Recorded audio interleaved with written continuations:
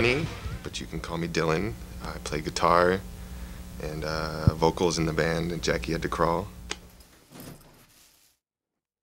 Me and Chris started jamming about four or five years ago, and uh, decided to get something together, formed Disdain, and from there that turned into Still Life.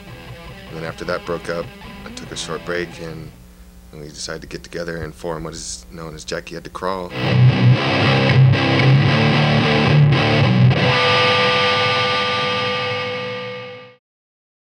My name is Chris, also known as Crick, Medium Head Dog, Slinky. I play drums and Jackie Had to Crawl.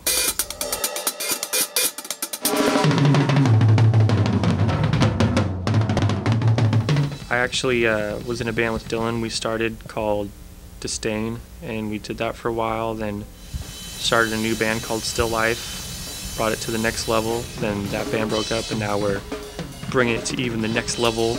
And Jackie had to crawl. My name is Chris North. I play guitar in Jackie Had to Crawl. I was invited into Jackie Had to Crawl from the current band members. Um, just to form a band, see what could happen, make it heavy. Sounds good. It worked out really good. And uh, yeah, it's a good project.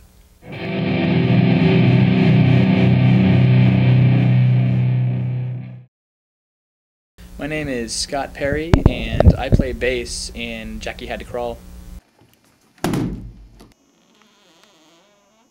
Soon enough, I think that our band, since we have our demo recorded, um, we're going to be playing some shows pretty soon. Um, we have about almost five songs, um, so I think that if we keep the speed up, we should be ready to really play a lot of shows soon enough and play all over the place. It's going to be great.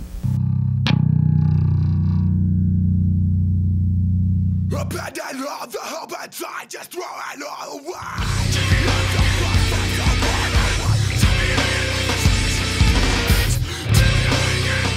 Basically, this is the studio that we played in when we were in Still Life. Um, the studio closed, so we left, and then a, about six months later, we found out that someone else had bought it and reopened it. Right now, we're just kind of tightening everything up in the studio, making sure everything goes good, and then we'll start playing shows within a month or so, get our name out there and just get known, get heard. The band means quite a bit to me. Um, in fact, I've grown close to all the members in the band, um, all of which are just like my brothers, you know, the guys you screw around with all the time. Um, you know, the thing is, the band is sort of part of your life. Um, no matter how many times you will try to, you know, push it away and think to yourself, you know, I don't have enough time. You know, you always do it, and you're always there, and it gets that extra stress level off that you need. And you know, it's just something that's great, and I seriously really love it.